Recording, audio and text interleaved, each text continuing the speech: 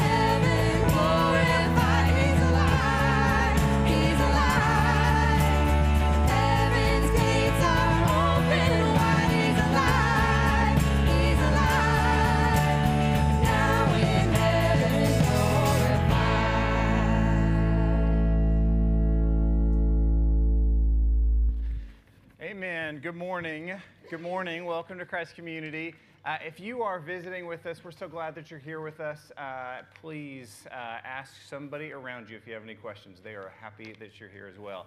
Um, if you're here with us, uh, new or long time, uh, a reminder is, is, one of the things that we want to be as a church is uh, we long to be a church that, that includes and is made up of people and process. Our, our assumption here is that none of us are finished products.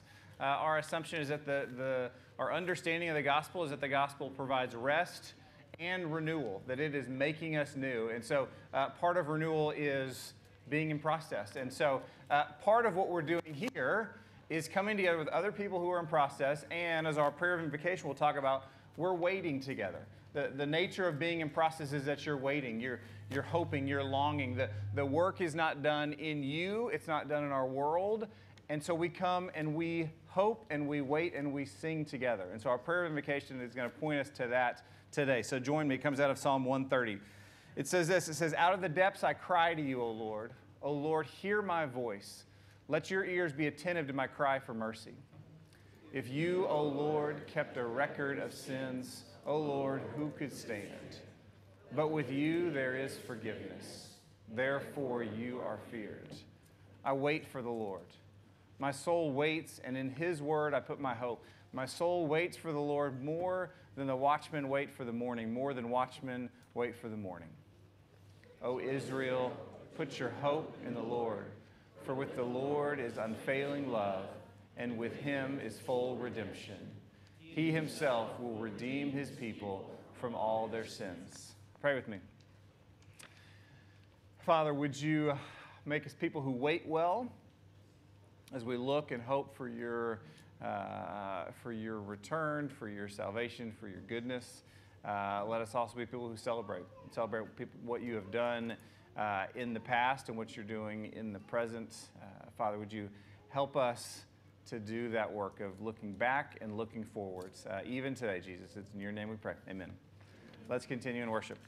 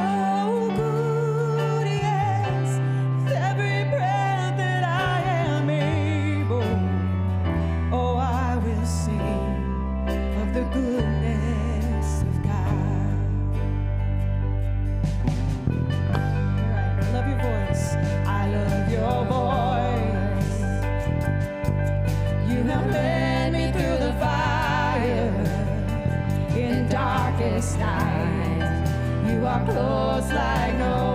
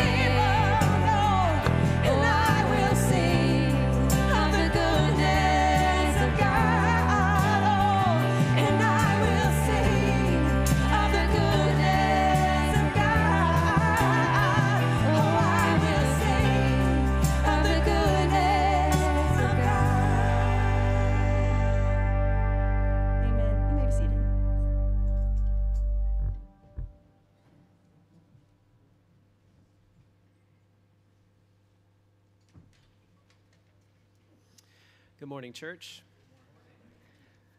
My name is Jason. Um, in my personal reading, I've been going through the book of Galatians, which, if you're not familiar with it, it's Paul's ferocious defense for the gospel of grace. Uh, in particular, this church was being taught that they needed to do something on top of Jesus' grace for them. And Paul's like, no, you need to trust, and you need the Spirit of God to do the work through you. And so, this confession, um, as Jasmine sent it to me earlier this week, um, I was already looking through the eyes of Galatians in that, and this confession talks about how we place our faith in our obedience. And so that just really hit home with me. But uh, confess with me. Heavenly Father, you are just and holy. There is no one like you. You are light, you are love, you are life. We confess the ways that we attempt to devalue you, deny your voice in our lives, and diminish our need of your grace.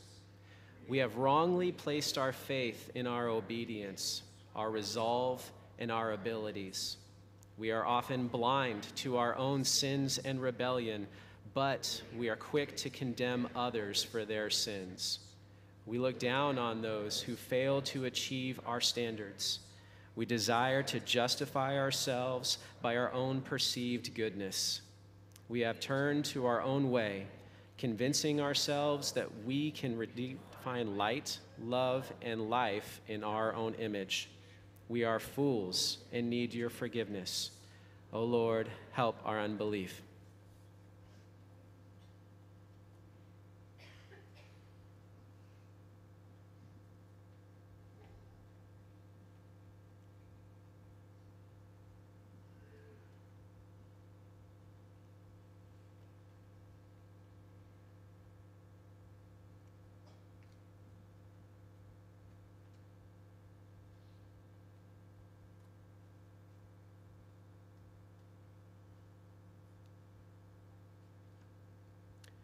Amen.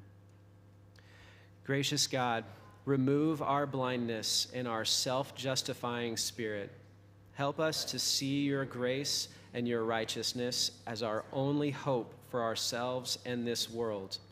Replace our false forms of faith with trust and true believing. Take us out of ourselves and let us depend upon you alone. We are sinners who desperately need your salvation. We are broken and desire for your healing embrace. We have wandered and long to hear the sweet sound of your welcome again. We confess our sins and seek repentance, trusting in the one who is our great high priest, who knows our temptations and weakness, and who continues to love us and persevere with us, Jesus Christ, the friend of sinners. Amen. And now for the assurance of the gospel. Brothers and sisters, this is the assurance we have heard from God and now proclaim to one another. But now in Christ Jesus, you who once were far off have been brought near by the blood of Christ. For he himself is our peace, who has made us both one and has broken down in his flesh the dividing wall of hostility by abolishing the law of commandments expressed in ordinances that he might create in himself one new man in place of the two, so making peace, and might reconcile us both to God in one body through the cross, thereby killing the hostility. Thanks be to God. Please stand.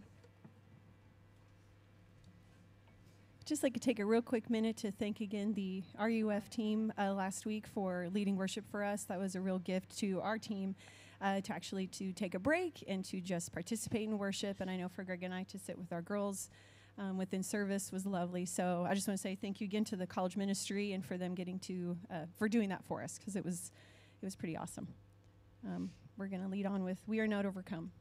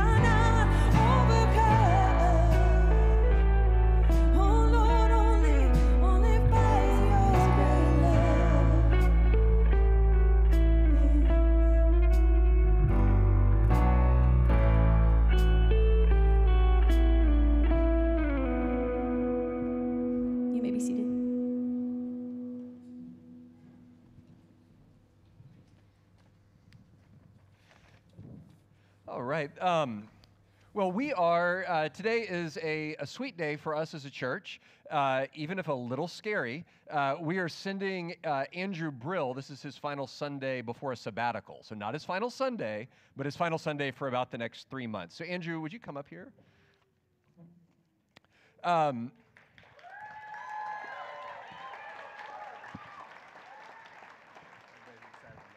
What's that?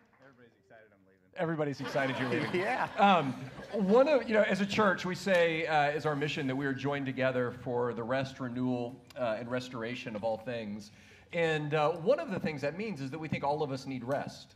Um, even the people who work in the church uh, don't work uh, endlessly. They don't work out of, a, of an ever present source of endurance and energy, but they need time to step away uh, and to rest up and to be replenished and be with their families. And so um, it is, uh, it is with joy that we acknowledge, Andrew, all of the incredible work uh, that you do at this church. Um, that's why it's a little scary that you're leaving. Um, but we promise, don't we, to not bother him at home, um, right? If you have questions uh, in the meantime while he's gone, just save them till mid-July, and we'll get back to you. Um, no, if you have questions while Andrew's gone, if it's more, we have a great staff team. If you have questions more on the administrative and operational side, reach out to Jasmine. If you have questions on uh, the pastoral side, reach out to me. If you're not sure which they are, uh, send them to me, and I'll send them uh, where they need to go. But um, we are all uh, excited to take on just a little bit more load so that Andrew can go and be with Ashley and his family. She's out of town this weekend. Uh, we're hoping that uh, to be able to thank her as well. Uh, Brill Kids, we are so excited uh, that you guys get three. I, I hope you're excited too. About three more months of more of your dad around. I'm gonna miss his dad jokes in the office. I don't know if y'all are gonna miss more of his dad jokes at home, um, but they're always great. So let me invite our elders to come up. We're just going to pray for, for Andrew uh, and for the Brills here for a little bit.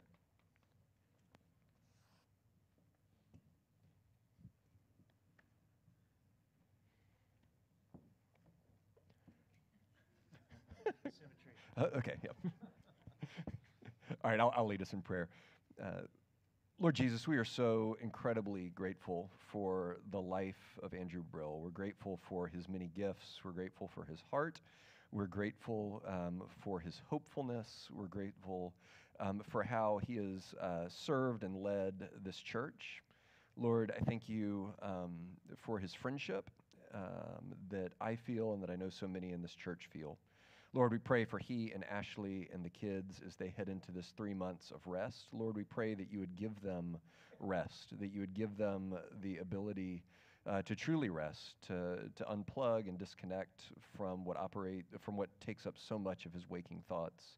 Um, Lord, we pray that in this time you would knit them closer together as husband and wife, closer together as a family, that you would give them joy, that you would give them memories, uh, and that you would give them a sweet season of rest and uh, restoration uh, as they step away. Lord, we thank you uh, that you care more about um, being with us than in what we do for you. And so, Lord, I pray that you would be near to Andrew during this time of rest um, and that you would nurture him and that it would be a blessing to him, to Ashley, and to their whole family. And it's in Jesus' name we pray.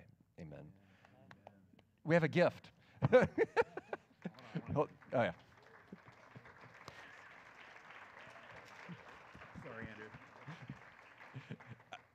Um, this is uh, a box of things um, that we pulled together. We, we, we didn't. Pull, it's way, it looks way better than it would if we had pulled it together. Ariel Farner took lead on this. You're going to need to hold this through the rest of the Through- service. through Yep. announcements? Um, But anyway, a lot of uh, gratitude for y'all, and hope you guys enjoy uh, some wonderful time away. Thanks, Dave. I, I, I can't take. I that am doing announcements, Okay, so I'm going to set this down. Okay? Um, we got a few months of announcements to get through, everybody, so buckle up. No, it, it, it really is a gift to, to take a sabbatical. Our, our staff has a policy about uh, after five years, you, you take a sabbatical. And so uh, Christian and Anna will be up next. They'll be next year. Um, uh, you know, when back when one little illustration, then I'll be done. Um, uh, years ago, I couldn't do it now, but years ago, uh, when I, I was training for a marathon, one of the pieces of advice is uh, walk through the water stations. Uh, because a lot of times people just grab it and keep running because like, hey, I don't want to lose time. But the, the sense was, hey, if you walk through the water stations, you actually pick up pace as you go. Um, and so this is a little, that, that's what this is for a little bit. Um, I'm, not, I'm not fried. Uh, I, am, I am fatigued in some ways, tired in some ways. It's been a, it's been a full few years. Um, and so looking forward to a few months of, of walking through a water station and then, uh, and then looking forward to being back. So love this place and you all. So thank you for making that possible. Um, thank you. Um, all right, announcements. Let's get to that. Uh, uh, we started our new adult seminar this morning that Chris Cahoon uh, and our creative team led. And so if you missed that, there's three more Sundays of it. And so we'd love for you to come to that. It's downstairs for the next three Sundays at 8:45. So we'd love for you to come to that. Uh, there is uh, childcare, including a catechism class during that time. So uh, you can check that out. Uh, second, this coming weekend, so the, the 19th and 20th dates are up there, we have a Discover seminar. So if you are new to Christ Community, you've never been to one of these, uh, would love for you to come. This is really the hey, I've been here on Sunday mornings. What, what shapes this church? Uh, what, what makes it go? What's the mission and vision that, that direct it? And so, uh, so we do that on Friday and Saturday night. Uh, it is part of the membership process. So if you are interested in becoming a member, you need to do that.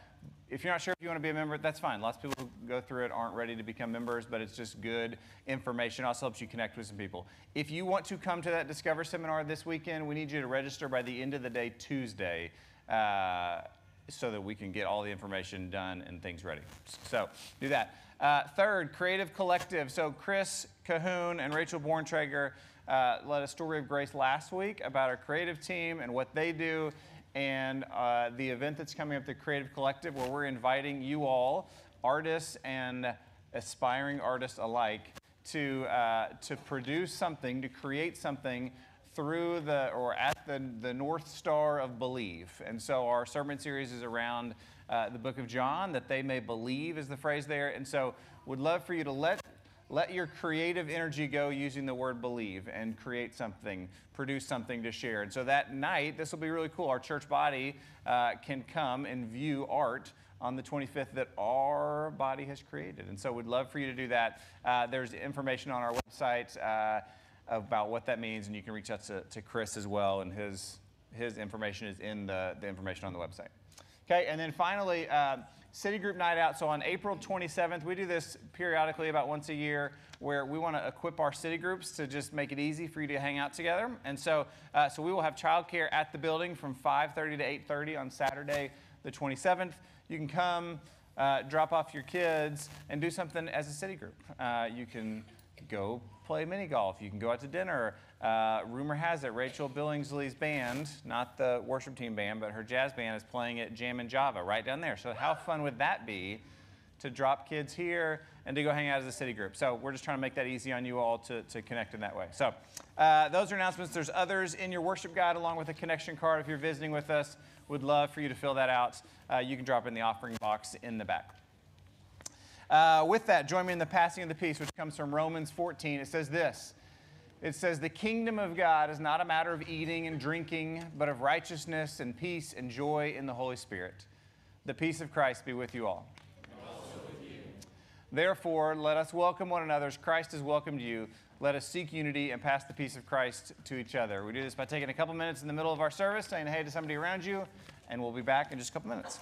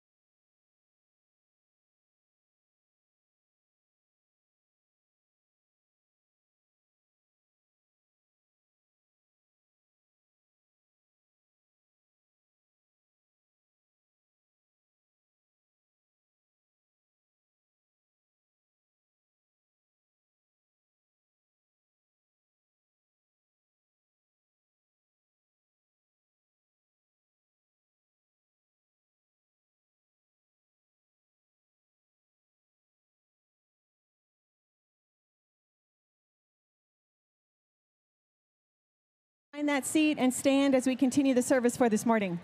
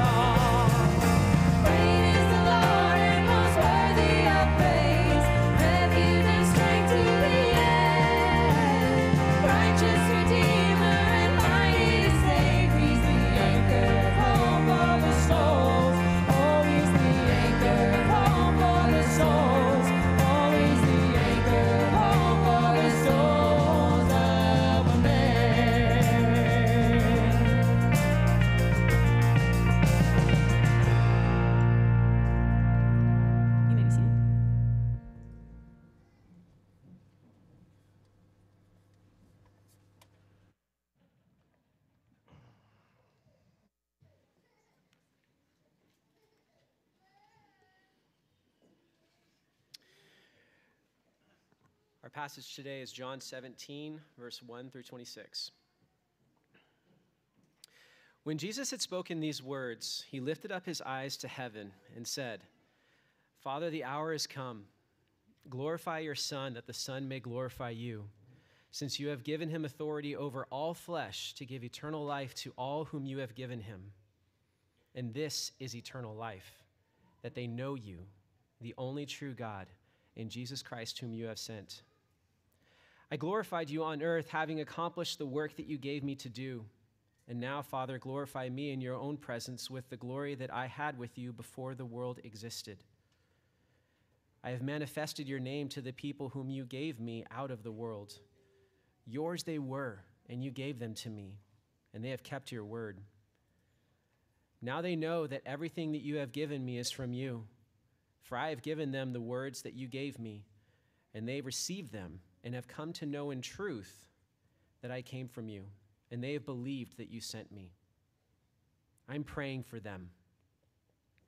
I'm not praying for the world, but for those whom you have given me, for they are yours.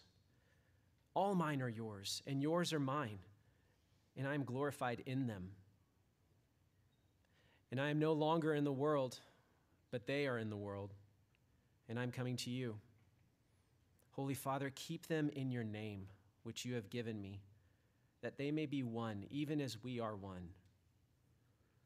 While I was with them, I kept them in your name, which you have given me. I have guarded them, and not one of them has been lost, except the son of destruction, that the scriptures might be fulfilled. But now I'm coming to you, and these things I speak in the world, that they may have my joy fulfilled in themselves. I have given them your word, and the world has hated them because they are not of the world, just as I am not of the world. I do not ask that you would take them out of the world, but that you would keep them from the evil one. They are not of the world, just as I am not of the world. Sanctify them in the truth. Your word is truth. As you sent me into the world, so I have sent them into the world. And for their sake, I consecrate myself, that they also may be sanctified in truth. I do not ask for these only, but also for those who will believe in me through their word, that they all may be one, just as you, Father, are in me, and I in you, that they also may be in us, so that the world may believe that you have sent me. The glory that you have given me, I have given to them, that they may be one, even as we are one.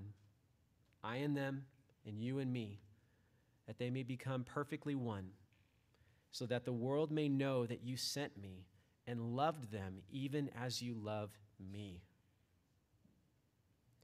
Father, I desire that they also, whom you have given me, may be with me where I am, to see my glory that you have given me because you loved me before the foundation of the world.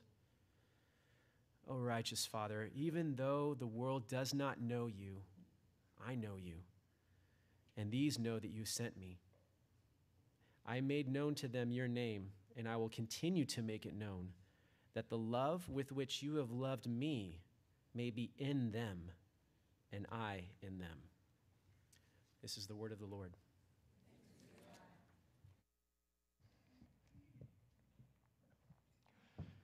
Hey, let's pray. Lord, we thank you for this section of your word. We thank you um, that you have uh, given this to us, this uh, model of the Son praying to the Father. Lord, we pray that you would speak to us. Lord, we, uh, we have so many voices in our lives, so many uh, things that clamor for our attention. Uh, Lord, we, right now, we seek to give our attention to your word. And as we do so, Lord, we do so in faith, trusting that you will speak, that these won't just be uh, the words on a page or the words in the mouth of a preacher, Lord, but that you would uh, speak to us what we need to hear. And it's in Jesus' name we pray. Amen. So earlier this year, I started getting uh, disturbing mail uh, inviting me to my 25th high school reunion and I thought this this must be meant for an older man, but no. Uh, 25 years. I don't know if we have any anybody else in the class of 99 in the okay. A lot of there was a lot of Prince in that year. There was a lot of that party like it's 1999 song. Um, but uh, but yeah, 25 years. A lot has happened in the last 25 years uh, as I think back on life. Uh, it's been a long time. As they've reminded me since 1999. I have uh, gone to college, gone to grad school, got married, have kids, moved a few times. A lot of life has happened in these last 25 years.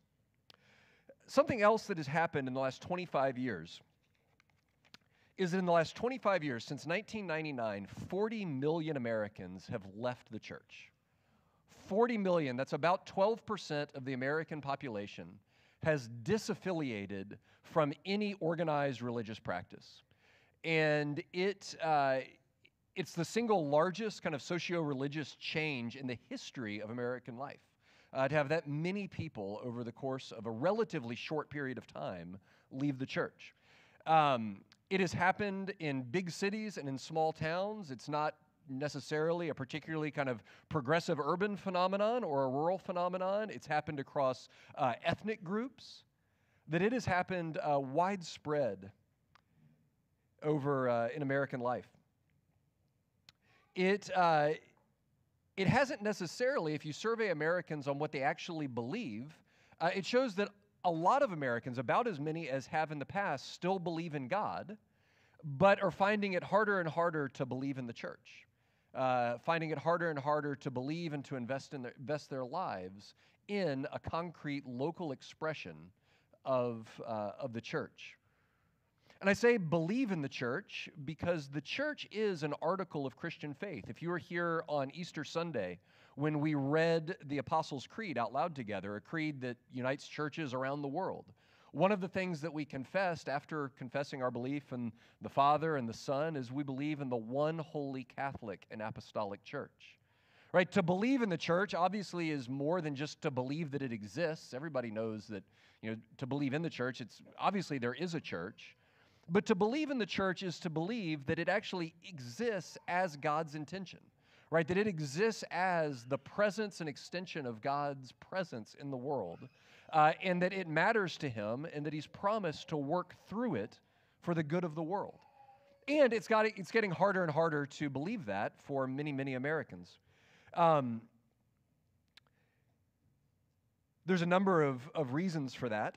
Uh, you know, I think in some ways the internet has made it easier than ever for us to understand and to know, you know, a story of abuse or kind of tox- toxicity in the life of the church or hypocrisy in the life of the church that's always existed.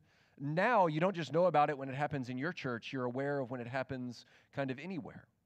And, uh, you know, the forces of kind of individualism in American life mean that we in- increasingly say, well, no, my, my spirituality, my faith is mostly about me finding an authentic expression of, of me, of what I believe, of what I want, about my desires, versus joining up uh, with what seems like an institution uh, that can seem far removed from our own experience. But as an article of faith, to believe that the church is God's very presence on earth is one that Christians uh, do hold to.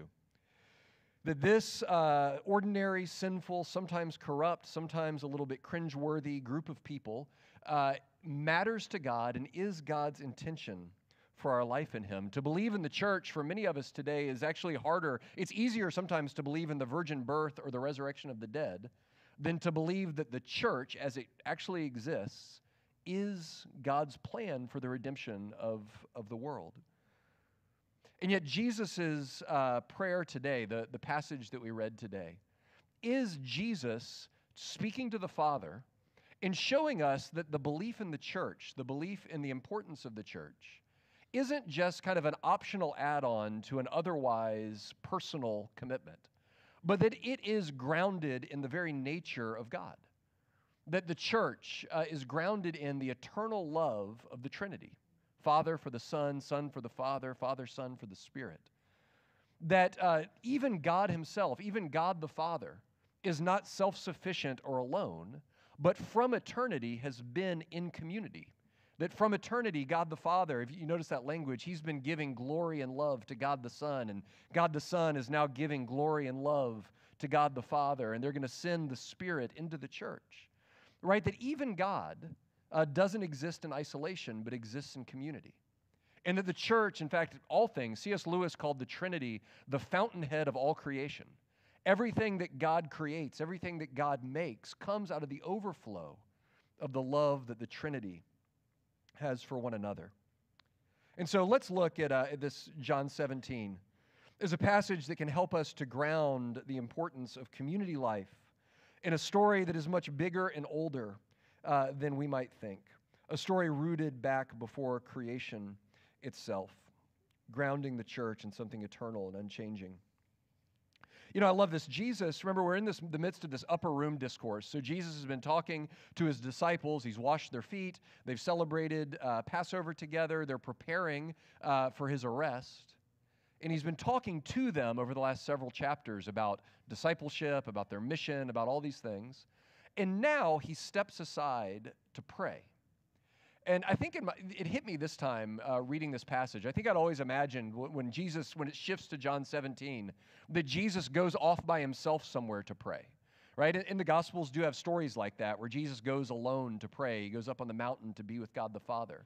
But that's not what's happening here. He goes from talking to his disciples, and then it just says he lifts his eyes up and starts talking to the Father. So he's now, he goes from talking to the disciples to still in front of and with the disciples, but now talking to God the Father. He's inviting them uh, in to listen in to this conversation that he's having with the Father, to listen in uh, to this moment of prayer. And you might look at this and go, why is Jesus praying at all?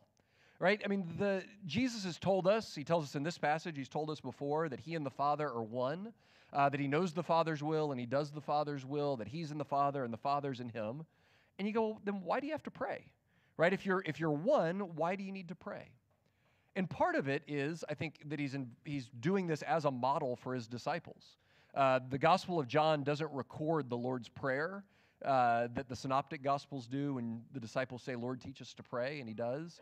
So I think in some ways this is John's version of that, where he's teaching the disciples to pray by modeling prayer for them. In fact, uh, you know, the healing of Lazarus, he prays and he says, you know, Father, thanks for hearing me. I know that you always hear me, but I say this on their behalf, right? He's wanting them to hear what's going on between him and the Father.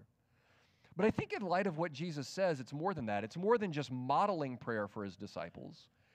He's inviting them into a relationship with him and with his Father that, that they are going from being uh, kind of on the outside of that relationship, listening to Jesus talk about the Father, to now Jesus inviting them into this relationship that he has with the Father that has existed before creation.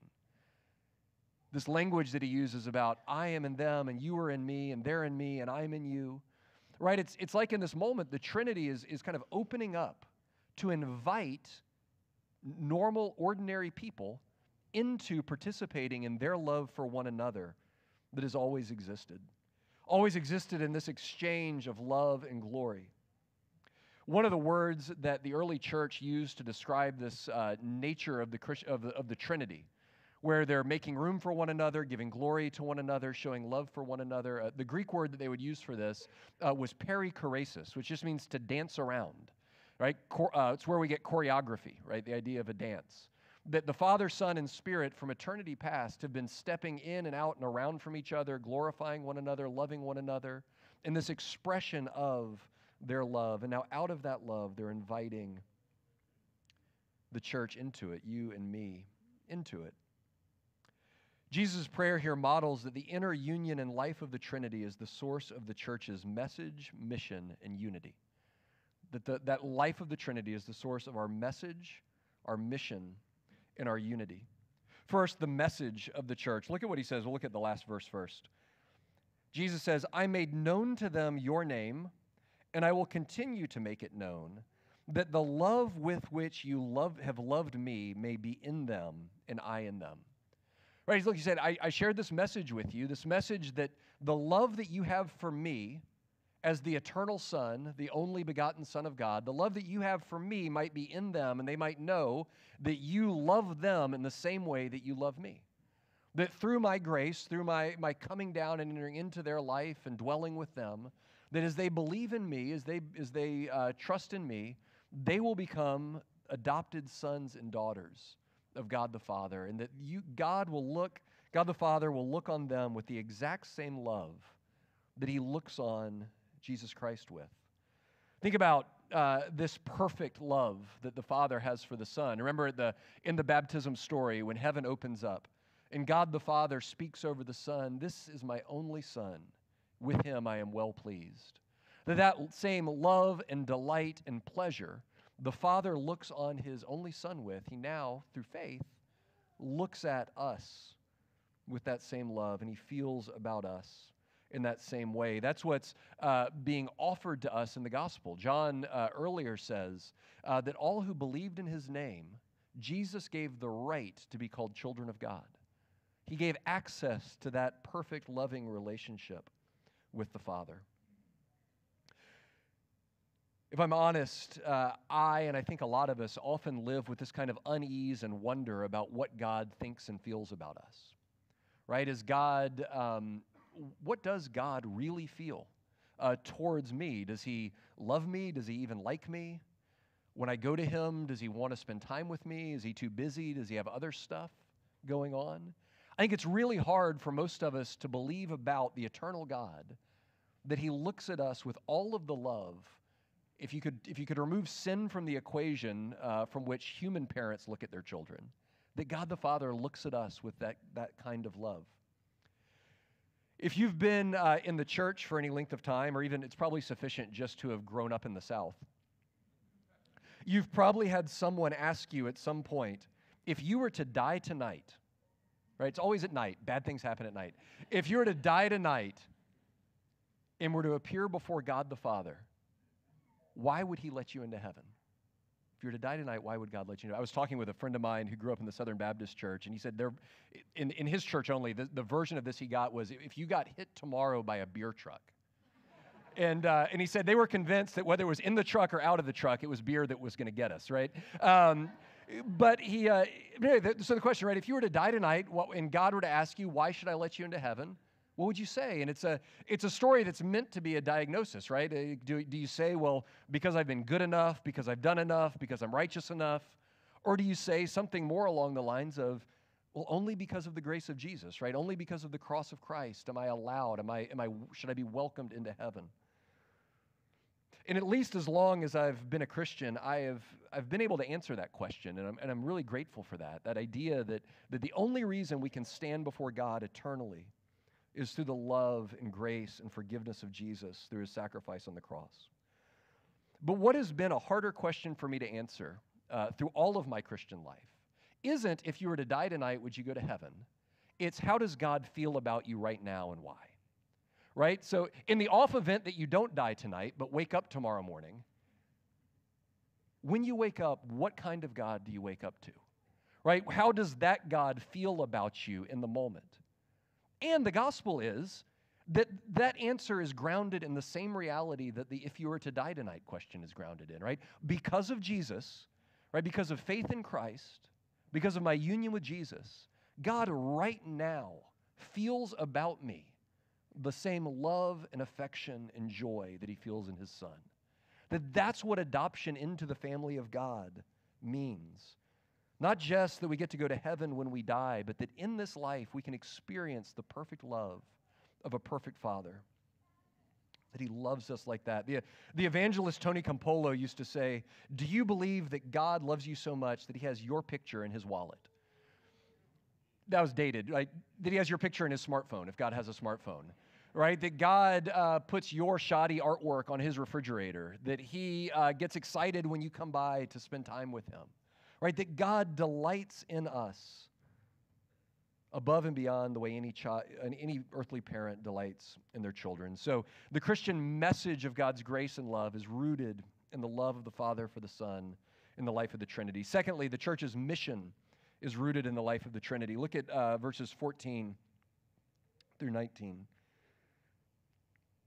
uh, he says this Jesus says, I have given them your word, and the world has hated them because they are not of the world, just as I am not of the world. I do not ask that you take them out of the world, but that you keep them from the evil one. They are not of the world, just as I am not of the world. Sanctify them in the truth, your word is truth.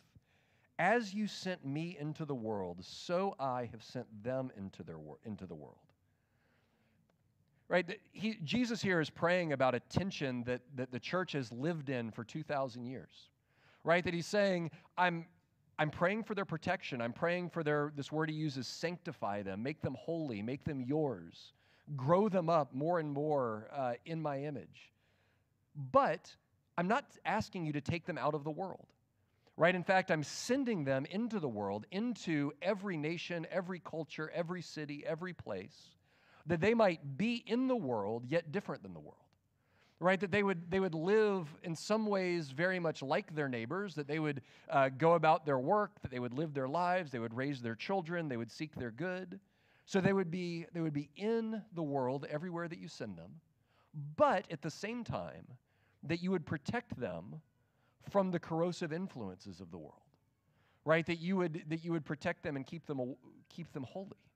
And so, this, this tension that, that Jesus is praying for the church in is that they would be uh, in the world, but not of the world, that they would be sent into every corner of the world, but sent as a unique and different outpost of a different kind of world in the midst of this world. I'm going to use my once monthly Dietrich Bonhoeffer uh, quote today. Um, Dietrich Bonhoeffer uh, was a German theologian and pastor in the early 20th century, and I'm doing a doctorate on his work right now, so that's why I get to use. I limit my my uses. Um, in 1935, he found himself in an interesting position. So he had been uh, a representative and a pastor within what was called the Confessing Church. Uh, as Hitler rose to power in Germany, one of the steps that he took was to consolidate power over the Christian church. So uh, increasingly, uh, if you walked into a Christian church, a Protestant church, or a Catholic church anywhere in Germany, you would see not only crosses but swastikas right? You would hear not only was Jesus head of the church, but in Germany, Hitler was also head of the church. And so he had, early Nazism, there was kind of this battle for the soul of the church. And like most areas, Hitler, Hitler won in that way. And so uh, Bonhoeffer, this he was a young man, uh, and in 1935 he left Germany. He was in, he took a pastorate of a German-speaking church in London, and then in 1935 he decides that he has to go back to Germany uh, even though he knows that he's, lo- you know, the confessing church is lost. They're now underground. Uh, they're now participation in this church is now punishable by death. Um, so he went back into Germany, knowing that it was likely going back towards his own death. And he writes a letter to his brother Karl in 1935, talking about his decision to come back. And he says uh, in that that the only hope of the of the German people during this time, the only hope for in that in some ways the peace of the world is for the German church to recover what he called a new kind of monasticism. So, just like monks and nuns used to kind of cordon themselves off from the world to seek holiness, to seek the presence of God, he said, we need to do something like that. Because German culture and, and Nazi ideology has crept so far into the church that we need to adopt kind of a counterculture within the church that's for the good of the world. He, in fact, started uh, a seminary community training pastors in a kind of a monastery that he then sent out, most of them to their death eventually, uh, to pastor and serve as missionaries in Nazi Germany. Even in the midst of this, uh, even in the midst of, as he did this, he talked about this kind of new kind of monasticism. Even still, he never was comfortable entirely with saying we're going to wall ourselves off from the world. We're going to wall ourselves off from our neighbors and the people around us. Because he knew this. This is what he, this is what he wrote vocation is responsibility. So, vocation, the call of God, is responsibility, our response to the call of Jesus. Vocation is responsibility. And responsibility is the whole response of the whole person to reality as a whole. That, that our response to Jesus' call on our lives means a responsibility to God and a responsibility to our neighbors. That he felt a sense that, that his call to follow Jesus, his call to be a pastor, couldn't be divorced from his call to love his Jewish neighbors living in Germany and facing that threat. And so he and, and, and others like him, he wasn't the only one, uh, took a posture of going back into Germany to be a church that was, as Jesus prays here, in Germany, but not of Germany, right? Within the culture, but not, not captive to Nazi ideology, in order to be a prophetic and life giving witness in the place where God had sent them. And this is the exact posture that, that God calls the church in every corner of the world into. To be in the place where He sends us, but not of it, to be a community that's in America that says a, a, resounding yes to some things in our world. A yes to the beauty of creation, a yes to the good of our neighbors, a, a yes to the beauty of what's good in our culture, and a no at the same time to what's corrosive and sinful and dehumanizing and corrupting in the world. And to live at, with both of those things for the sake of our neighbors. And Jesus is now praying for his disciples to do that. And then finally, the church's unity is bound up in the life of the Trinity. Uh, look at verses 20 through 23. I do not ask for these only, so not just for these 12 disciples, but also for those who will believe in me through their word. So now that's all of us, that's us. That they may all be one, just as you, Father, are in me and I in you that they may also be in us, so that the world may believe that you have sent me. The glory that you have given to me, I have given to them, that they may be one, even as we are one, I and them, and you and me, that they may be perfectly one, so that the world may know that you sent me and loved them, even as you loved me. Right? What Jesus is saying is that the, the church's oneness should be built on and modeled out of the oneness of the Trinity right? Just as the Trinity is eternal unity and diversity, right? Eternally, the Trinity, the Son is not the Father, the Father and the Son are not the Spirit. They're unique beings, and yet they live in perfect unity. That the church is meant to be not kind of melded into codependent, you know, we're all kind of uh, finding our identity purely in our identification with a, a group, but each individuals, each not losing ourselves, but each in a unity that's bigger than ourselves, a unity that dies to self to seek the good of another, a, a unity that makes way for per, out of personal preference for the preferences of another, uh, a unity that's built out of the love that the Father, Son, and Spirit have for one another. I think unity and witness are perhaps more tied together than they've ever been in our culture. That in a world that is more that is so deeply fragmented, right, where we look at one another with suspicion and hatred and prejudice, and where we're divided on so many cultural and political and ethnic lines, to be a church that says, no, no, actually here uh, we're coming together in Jesus, even if we differ in some of these other areas that, that tend to drive humanity apart from one another. Our unity can be a witness to the beauty and reconciling power of God, unity in the midst of diversity. Uh, this is one of the ways that we talk about uh, our vision as a church, our mission as a church, is that we seek to embody kingdom community. That every tribe, tongue, and nation unity that is the reality of the church in heaven that that would be expressed in limit, you know, the best we can in this life, where we'd be drawn together in this church uh, across the lines of ethnicity and gender and ability and politics and all of those things. That we would live and express unity as a kingdom community, and that would be a, a witness to the world. A little while ago, I heard the story of a man named Lowell Ivy.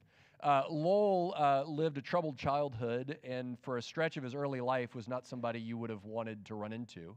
Um, and then in his uh, late teens, early 20s, uh, through gang involvement, had gotten involved in a life of crime, and then was arrested um, for armed robbery. He was sentenced to 15 years in prison and uh, in Texas. And then when he went uh, into prison, he came to realize pretty quickly that if he was going to survive in prison, he had to affiliate with a gang uh, with a group in order to find protection, and he affiliated with a white supremacist uh, gang in prison. And over the course of those years, became more and more hardened in those views, right? What started as a way to survive became this kind of deep ideology that held a sway over him. Then, in, uh, at one point during his prison term, he was in a fight in prison and assaulted a man and was committed to 10 years in solitary confinement. So he had 15 years in prison, 10 years of which were now in solitary confinement, where he couldn't speak to anyone, uh, but he did have uh, access to a radio, and he started to get uh, radio sermons through a, a, preaching ministry. And over time of listening to those sermons over the course of 10 years, um, he came to be convicted of the idea that his racist views were sin right? He, had, he hadn't been able to put it all together yet, but he'd come, he, at least knew, if, he hadn't come to real faith, he knew that that kind of hatred had taken a, you know, had, had become ugly in his heart and had, had really, really corrupted his life. And so when he finally was released from solitary prison, uh, solitary confinement, he said he went to the one place in the prison where I knew that black, white, and Latino inmates gathered together and weren't divided by race. He went to the chapel services. So he started to get involved in the church services. Um, and as he went, he got involved in Bible studies. And then over time, God used that to convert him uh, to where he actually, Lowell now is the head of uh, the denomination, the PCA, our denomination, uh, our prison ministry. He's an ordained minister.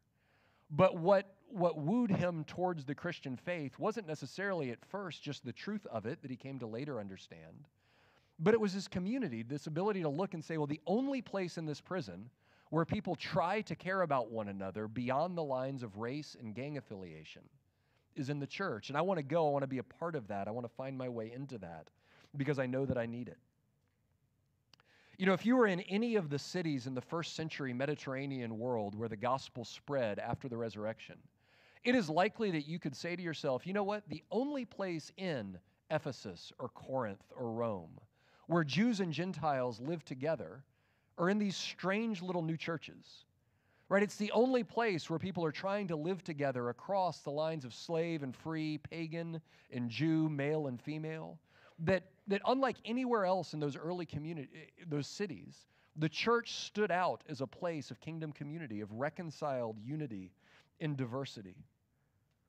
And that's what Jesus is praying for, for the church then and for the church now, that because we are united in Christ, we can be different in much else, much of the other things that divide us from one another. And so Jesus prays for church unity. Uh, both inside, the, I mean, I think the, the applications of this are both for us inside the local church, that we would commit to working across difference, we would commit to working towards understanding one another, they would commit to embodying that kind of kingdom community. And I think in the way we relate to the church outside, of the, the one local Christ Community Church. right? Jesus, I think it's incredibly uh, insightful that the last thing Jesus prays for is that his people would be one.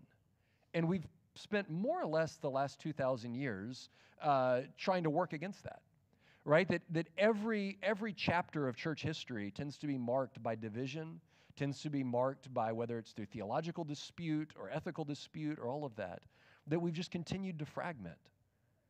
And if, if Jesus cared enough about it to pray for it as his last words as he prepared to head towards the cross, we ought to lean into and lean towards unity with our brothers and sisters in different church traditions, in different church bodies.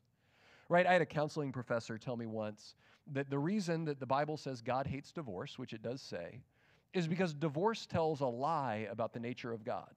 Right? If, if, the na- if marriage is meant to show that, that love, covenanted love, is reliable and solid and unconditional, divorce tells a lie about that. It says, well, not always. Right? In, in, in a sinful world, it's not always. And I think you could say the same for divorce within the church, when churches divorce from one another. That God hates it because it tells a lie about who He is. Because Jesus says they may be one as we are one, as the Father is in the Son, as in the Spirit. That we should seek to lock arms with our brothers and sisters in different church communities, to demonstrate the unity uh, that we share. It's one of the reasons that if you were able to join us uh, for our Good Friday service uh, with our brothers and sisters at St. James Baptist, right? That's one of the reasons that's such a sweet and powerful experience, right? Is because it's a moment of leaning into what should be, right? Churches cooperating, worshiping together across denominational, ethnic, all sorts of lines, cultural, traditional lines, to be one, as Jesus prayed that we would be one. And so, in a world where it is incredibly hard and increasingly hard to believe that the church matters, to believe that the church is good, to believe that the church is an expression of God's grace in a broken world, Jesus says, no, no, no. It's as core to the existence uh, of, of all things as the Trinity itself that God calls us and sends us to be on his mission with his message in the unity of love. Let's pray.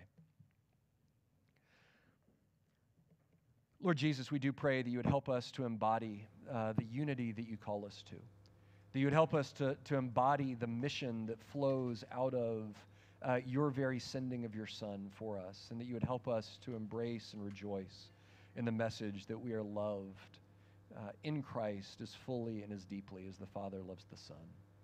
Lord, I know for, for all of us, and, and maybe some in this room feel it acutely right now, it's, it can be hard to believe sometimes that church is worth it with all the pain that can be involved, with the sin, the hypocrisy, all that can be involved in staying.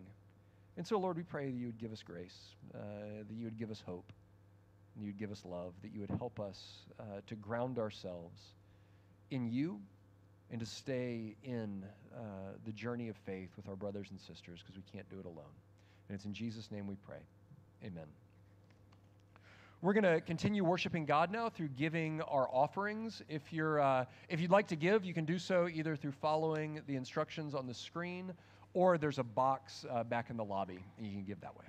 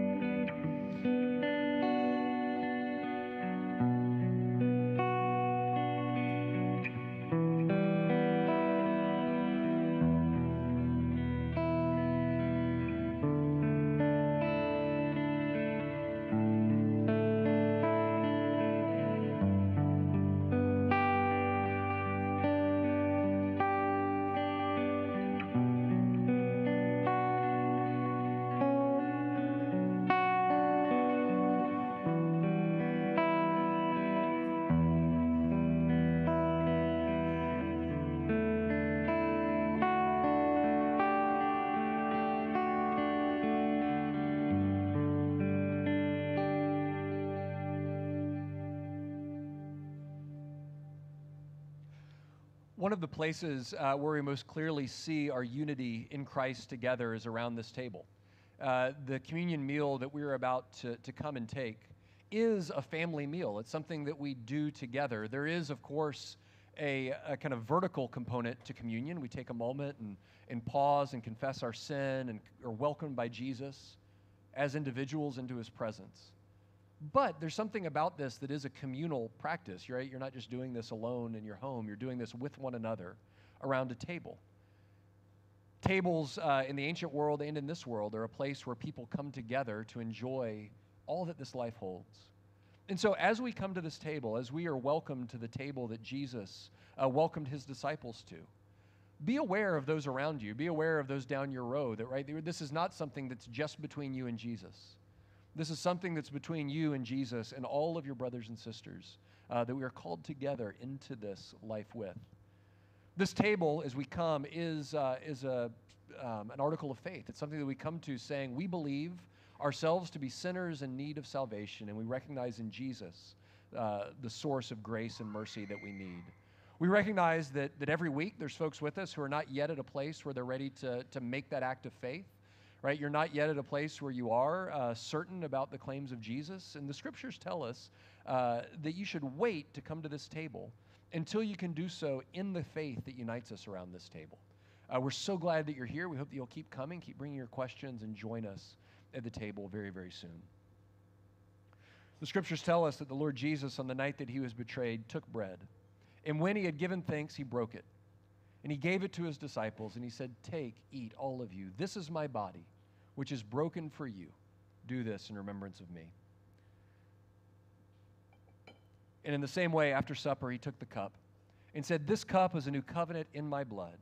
Do this as often as you drink it in remembrance of me. For as often as you eat this bread and drink this cup, you proclaim the Lord's death until he comes. Let's pray.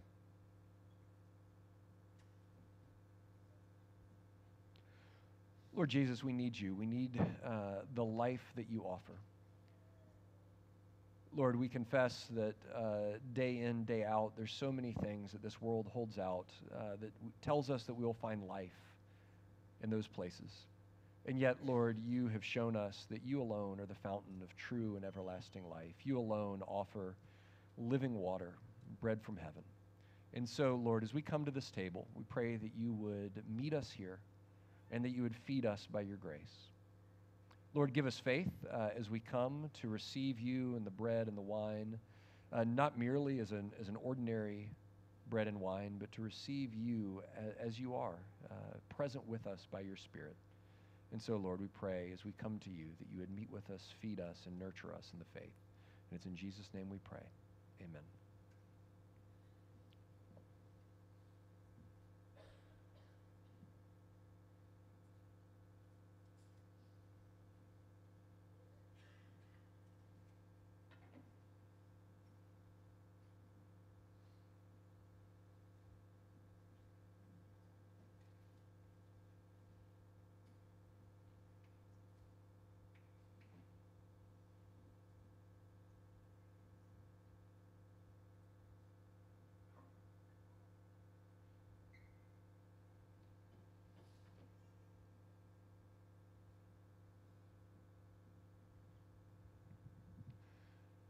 Come forward as you're ready. We have gluten free bread available to my left. And when you come to the trays, the, uh, the red cups are wine, the clear are grape juice.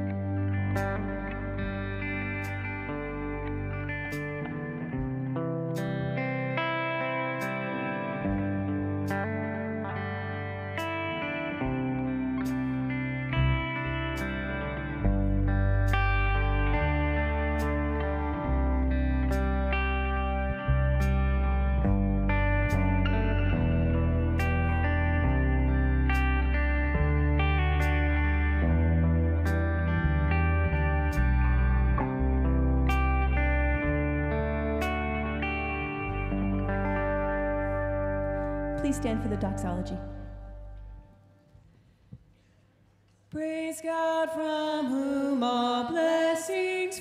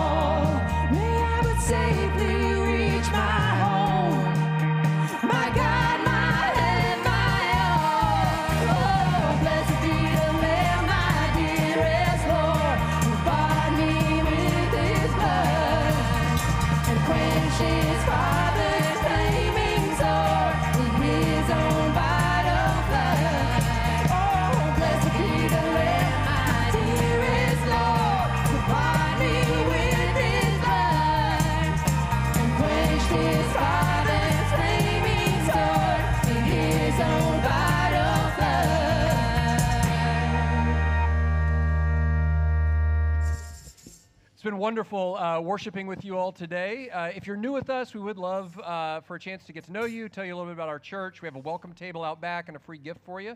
Uh, so please do stop by there.